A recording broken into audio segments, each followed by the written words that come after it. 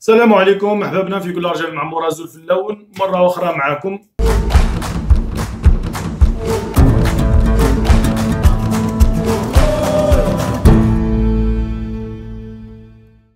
في هذه الحصة جيت نتكلم عن الإجرام الإعلامي اللي قاعد يصرى. الإجرام الإعلامي و... ونثبتوا لكم أنه هاد الناس مجرمين الناس آه، الصحفيين اللي ت... صحفيين قناة الهداف وصحفيين آخرين سواء في الجرائد المكتوبة سواء في التلفزيونات. الخاصة خاصة خلينا ما نهضروش على التلفزيون العمومي لأنه آه، ما كانش واحد وصلنا الكارثة هذه قد التلفزيون العمومي. ما كانش حاجة وصلتنا للمصيبة الإعلامية اللي رانا فيها الجريمة الإعلامية اللي رانا فيها قد التلفزيون العمومي. وكيفاه الناس اللي قاعدة تسير فيه ما قدرتش ما قدرتش تحط خطة ولا خطة الطريق. خطه الطريق باش باش باش آه، تعدل هذا الإعلام الرياضي خاصة خاصة وعندها كل الحقوق عندها اكسكلوزيفيتي في الحقوق. يعني كانت قادرة هاد الناس تقفل لهم بدون يعني آه، بدون ما نخرجوا حنايا نحاربوهم يعني. تصوروا أنه عندها حقوق البطولة الوطنية حقوق البطولة الوطنية لكن آه، تبين لك زوج ماتشات في, في الأسبوع. تصوروا أنها عندها الحقوق وتسلك 50 مليار للفرق وللرابطة.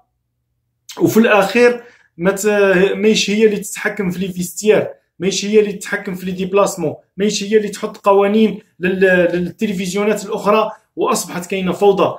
كل الصحفيين في les vestiaires شوفوا البيين لما شرات الحقوق شوفوا البيين لما شرات الحقوق. ال vestiaire ما تقدرش تدخل له كاين حدود كاين حدود شاريتها البيين واحد عنده ليكسكلوزيفيتي ما قدرش ما قدرش يطور ما قدرش يدير فلوس بالبطولة الوطنية الجزائرية. يعني كون تقارنوا بال 50 مليار اللي قاعدة تدفعها الدولة باش تشري البطولة باش يعني باش تشري البطولة تدفع البطولة واش تدخل القسم الرياضي في في التلفزيون العمومي رايحين تلقاوها كارثة بكل المقاييس.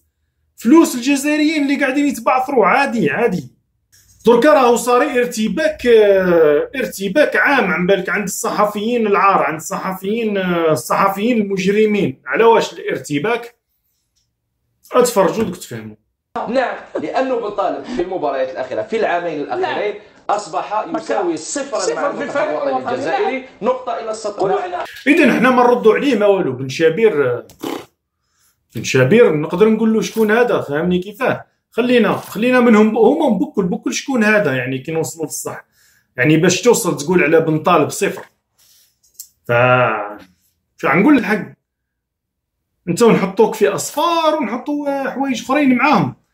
أه انت ما نحطولكش صفر نحطوا لك حوايج أخرين. حوايج أخرين. وماهيش وحدة فريدة. اذا الحرب دركا اللي قايمة على من قايمة على بن طالب وشكون ثاني على سليماني. لكن شوفوا شوفوا الحقارة. شوفوا الحقارة. آه لما يحبوا يبعدوا واحد والله لما ويحبوا يقربوا واحد. آه، يعتبر بمثابة رصاصة الرحمة في صدر إسلام سليماني. هل آه، وقعت الآن شهادة وفاة إسلام سليماني الرياضية؟ رصاصة الرحمة هل هي النهاية؟ هل هي منعرف واش؟ واش؟ آه، حصان خرف راح يموت ولازم نرتحوه. ويجي واحد يقول لي راكو غالطين في شيخي شيخي وناس ملاح شيخي ما كانش واحد مسوس قلبه كيما شيخي هذاك. اذا اللي صرا شنو هو؟ سمعوا مليح. سمعوا مليح هاي المعادلة. اللي صرا إنه بالماضي أزاح زتشي عن إدارة المنتخب. بعد النتيجة تاع الطوغو المسؤولين عطاوه أكثر أكثر امتيازات. الامتيازات هذه واش شرط بالماضي شرط أنه يتصل باللاعبين هو اللي يتصل بهم وما يشمدان الناس ملاح وما يجزد شيء اللي نخليوه يخدم. بالماضي بدا في الخطة نتاعو عنتر يحيى داخل فيها بدا يتصل باللاعبين تاع ليه شافوا باللي جاي عوار جا شيتا ذاك النهار لعبوا في الطوغو وعلى فكرة شيتا ربي يعاونك وربي إن شاء الله تولي professionnel ربي إن شاء الله تحترف وربي إن شاء الله تولي تلعب في البرشلونة ونفرح بيك كيما فرح بمحرز. سبوني على رواحكم. يعني هاد الهضرة نهضر فيها ما عندهاش علاقة بشيتا أو اللاعبين أو بالعمري أو اللاعبين اللي أو بنجاح أو اللاعبين المحليين وتعرفوا أنا التفكير تاعي كيفاش من الناحيه هذه اذا آه بالماضي بدأ يتصل باللاعبين تاع ليه. ربما عوار. ربما ماكسيم لوبيز وين يلعبوا؟ يلعبوا في المكان تاع في ال milieu terrain يا عندك إبراهيمي عندك محرز. automatiquement عوار راح يرجع للورا. بن طالب عقبوا عقبوا بالماضي كما حكيت لكم هذا كان نار على حاجة نسميوها العلاج بالصدمة. كون يرجع بن طالب كون يرجع بن طالب مع رجوع المنتخب لمستواه يجي عوار. عندك محرز عندك إبراهيمي تبدأ الدور الشتاء يخرج. على هذيك سي بن شابير يأكد على يا أخي شارك في رابطة أبطال والعب مع ريال مدريد أو مع برشلونة ثم تأتي إلى المنتخب فلا تقدم أي شيء وتتهاون في وسط الميدان وتصبح مثلك مثل أي لاعب هنا في البطولة المحلية.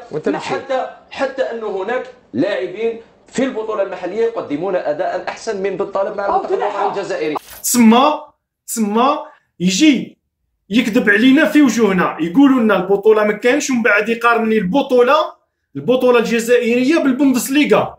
ها؟ هذا الإنسان اللي كان يقول آه، محرز ما ينجحش. ما نظنش ينجح. كون جيتي بلاصتكم ما نزيدش نخرج في التلفزيون.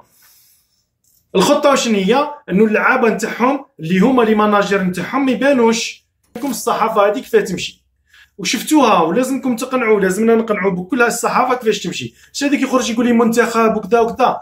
قسما بالله قسما بالله. شتو اللاعب هذاك اللي ما يقبلش المنتخب خطر ما قبل فرنسا؟ أشرف منهم بزاف. خطر ما هذاك؟